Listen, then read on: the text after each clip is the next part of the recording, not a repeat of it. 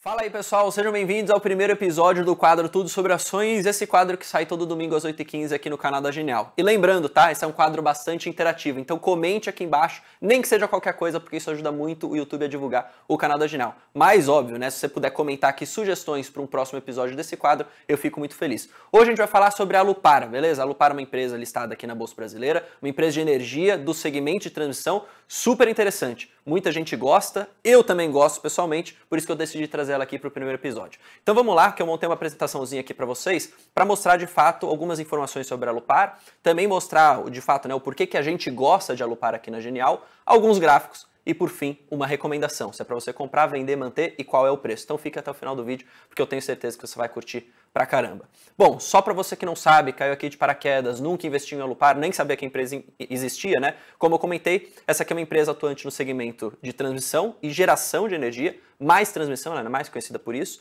controlando diversas empresas, não só no Brasil, mas também na Colômbia e no Peru. Um ponto interessante para falar é que essa empresa tem um controle 100% privado. Muita gente que investe tem aquele certo aversão ao risco quando você fala de empresas estatais ou que tenha por, o dedo, vamos colocar assim, do governo. Mas fique tranquilo, se você tem esse problema, não quer investir em empresas estatais, a Alupar é 100% privada.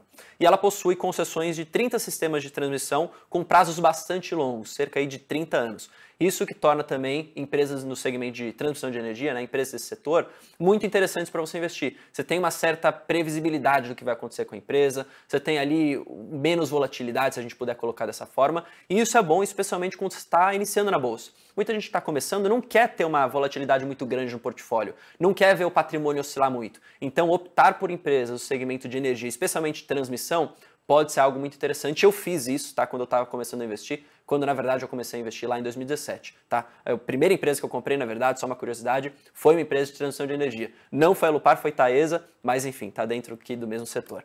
Por que, que a gente gosta de Alupar aqui dentro da Genial, tá? E não estou falando isso só por mim, estou falando também pelo analista responsável aqui em cobrir a Alupar, ele que dá todas as recomendações, ele também adora essa empresa. Basicamente, o primeiro ponto, natureza do negócio, tá? A maior parte do EBITDA, e para você que não sabe o que é EBITDA, basicamente é ali uma proxy da geração de caixa da empresa. Basicamente, você pode colocar na sua cabeça que é quanto que aquela empresa vai gerar de caixa, é exposto ao segmento de transmissão, que como eu falei para vocês, é um negócio marcado por bastante resiliência em receita e também é reajustado por índices inflacionários. Muita gente fica falando, pô, mas a inflação é muito alta, o que, que eu posso investir para se me proteger né, dessa alta da inflação? Se você olhar por aqui, as receitas de Alupar, por exemplo, são reajustadas por inflação, ou seja, você está se protegendo ao investir nesse tipo de empresa. Segundo ponto, crescimento, tá? Você tem ainda vários projetos que estão em desenvolvimento na Alupar. O que, que a gente vai ver no futuro, né? Hoje a gente tem um investimento mais alto da empresa, né? Ela paga menos dividendo. Mas no futuro, à medida que esses projetos forem entrando em operação, o que a gente vai ver é basicamente uma empresa investindo menos, distribuindo mais dividendo, tendo um EBITDA ainda melhor e receitas ainda melhores e mais altas também. Ou seja, é uma empresa que pode aliar não só um crescimento, como a distribuição de dividendos. É um ganha-ganha dos dois lados. E aí, por fim, eu dei o um spoiler aqui, dividendos após essa fase de investimento, como eu comentei, a gente tende a ver um dividendo maior para Lupar. Hoje em dia, de fato, você está vendo esse vídeo no, né, basicamente na mesma hora que eu gravei, aqui em 2022, você vai ver que o dividendo não é tão alto, tá? Se eu não me engano, nos últimos 12 meses está aí na casa dos 4%. Comparado ao Mataes da vida, que pagou 10%, não é tão grande. Mas, de novo, no futuro, e a gente investe aqui sempre pensando no longo prazo, você deve sim receber mais dividendos, tá? Aqui uma projeção que o nosso próprio analista fez, tá? Eu quis trazer para vocês. Então perceba o crescimento da receita de Alupar. De novo, quando eu estou investindo, quando a gente está investindo, o que, que a gente está buscando?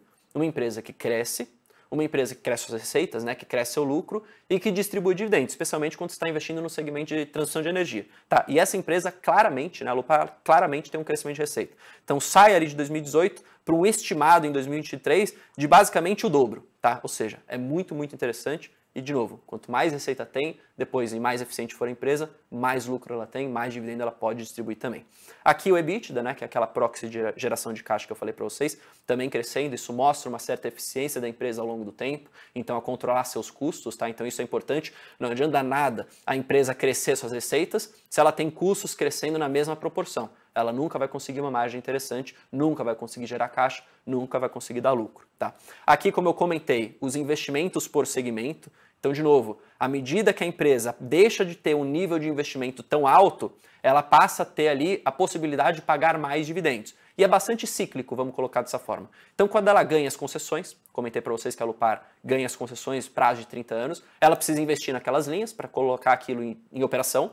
Depois que ela coloca em operação, ela diminui esse investimento e aí fica só ali esperando a receita vir, tá? Então isso é interessante do segmento de transição de energia. Então perceba, tá? Em 2020 a gente já viu uma queda bastante interessante para 2021, vai uma queda ainda maior para o ano de 2022 e 2023 um nível de investimento baixíssimo. Então ali sim a gente vai começar a ver um dividendo super, super interessante. E aqui essa projeção de dividendos, como eu comentei. Ah, Bruno, pô, você está tocando muito na parte de dividendos. É porque realmente quem investe no setor de transmissão de energia, no segmento de transição de energia, realmente é alguém que está buscando uma renda passiva. Você não vai ver a Lupar, você não vai ver Taesa multiplicarem mil, dois mil por cento, como algumas outras ações de crescimento podem fazer. Só que aqui você vai ter uma empresa que vai te pagar renda passiva. E detalhe, renda passiva essa que é isenta de imposto de renda. Os dividendos você não paga nada. Ou seja, é super interessante. Então perceba, 2020, 2021 ainda com dividendos baixos, 2022 já vem um dividend yield melhor, tá? Já paga mais, cerca aí de 9%, é o estimado pelo menos para o final do ano. E aí o que a gente tem em 2023 também ali cerca de 9% de dividend yield, o que é super interessante. Uma, uma regra de bolso, tá, que eu uso, e essa aqui é a opinião minha, tá? Você pode discordar se você quiser. Eu gosto de investir em empresas que têm no mínimo 6% de dividendo, que vão pagar no mínimo isso, quando eu tô com essa estratégia ainda passiva.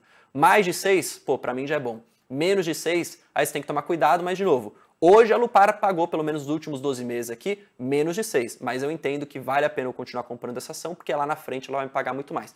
Quanto mais ações eu tenho, mais dividendo eu recebo lá na frente. E por fim aqui para trazer para vocês e aí, trazendo a recomendação do nosso próprio analista aqui, não sou eu falando isso, apesar de gostar e concordar com essa opinião, quem está falando é o Vitor Souza, nosso analista certificado aqui da Genial, que ele tem uma recomendação de compra para a Lupar, ou seja, ele acha que vale a pena, ele acha que tem espaço para a empresa crescer, com preço-alvo de R$ reais, tá?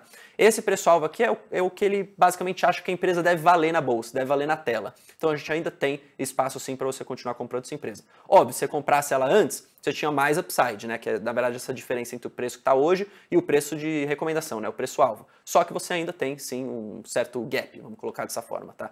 E aí, pô, ficou com dúvida ou quer saber um pouquinho mais sobre a Lupar, assim como eu, né? Porque eu já vi vários relatórios, já li várias outras coisas. Vai na plataforma Genial Analisa, que tem o um relatório lá de forma gratuita, 100% gratuito, não vai pagar nada nunca. E aí você tem vários relatórios sobre a Lupar, você tem, pô, acompanhamento sobre os resultados, isso vai te ajudar bastante também.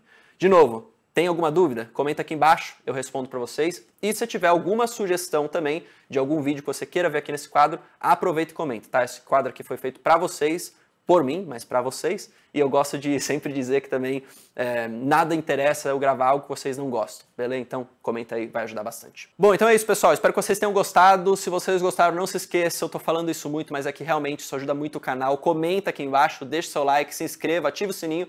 Esse quadro específico sai todo domingo às 8h15, mas o canal da Genial tem programas durante a semana inteira. A gente se vê lá, um forte abraço, falou!